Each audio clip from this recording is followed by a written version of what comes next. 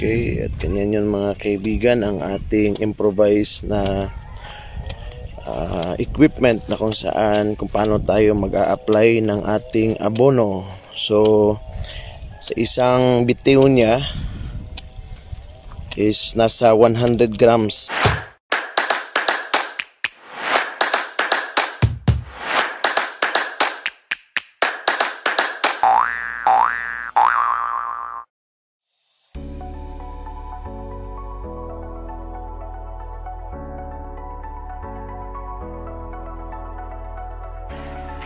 Ito ngayon mga kaibigan, maghahalo tayo ng ating abono para sa ating atsal. So, ngayon, imimix natin ang sampung ganito. So, ito ay isang ah, ginamit namin pang takal ang lalagyan or can ng tinapa. So, sampung ganito na 14-14. Ayan, 14-14. And then, sampung ganito din ng Yaramila o Unix 16. So, ihalo lang natin dito. So, ang mixture pala nito mga kaibigan is nasa 200 liters ng tubig. Lalagay na ako ng 10 takal.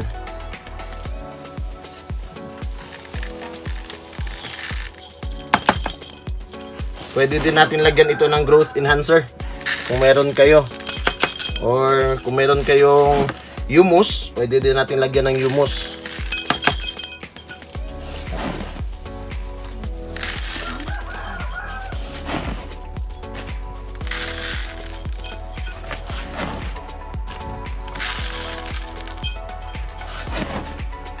Ito. Walo. Siyam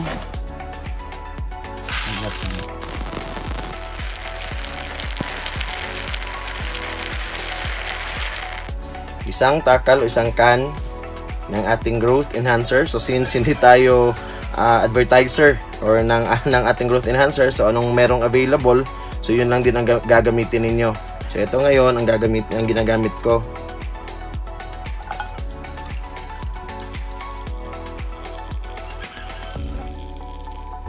So ngayon, lalagyan muna natin ng tubig and then imimix natin para naman pag, paglagay natin sa drum ay hindi na tayo mahihirapan. So i-dissolve muna natin ito sa tubig. So lalagyan natin ng tubig ngayon. Papakita namin sa inyo.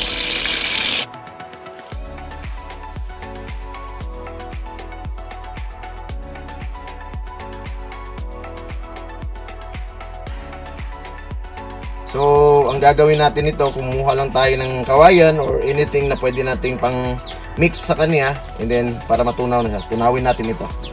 So, ito mga kaibigan ngayon, ito guys, kung nakikita ninyo, dalawang mixture ang aking hahaluin. Kasi ang isa para sa ating atsal at din ang isa para sa ating pipino. So, nagkasabay-sabay kasi.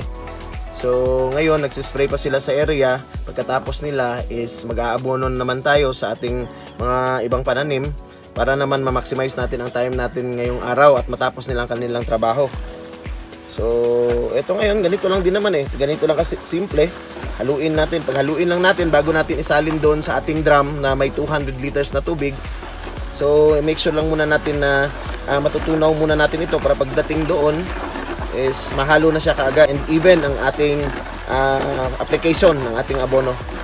So, hanggang meron pang mga granules, eto, ayan, antayin lang natin na matunaw siya lahat and then before natin isalin.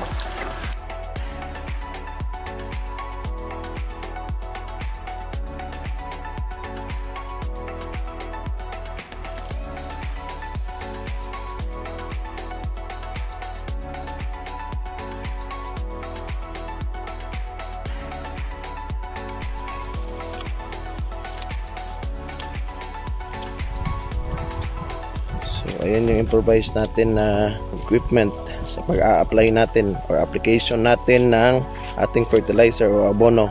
Sakto ang kanyang deposit sa bawat punla natin or seed- seedlings natin kasi automatic na na naka-measure ang liquid na ating ilalagay sa ating mga punla para mas lalong mapadali ang kanilang application. So ganito kami nag-a-apply ng aming ah, fertilizer. Makikita natin ang activity ng mga Pilipino kung saan naghahanap talaga ng paraan kung paano mapa- mapadali ang kanilang trabaho. So ito mga kaibigan is uh, made of uh, container. Lagyan ito ng suka or ng toyo. Ginawa nilang pipe is PVC and then may goma. Pinag-connect-connect lang nila. So meron din siyang handle. Handle ng spray. So talagang nakaka-amaze.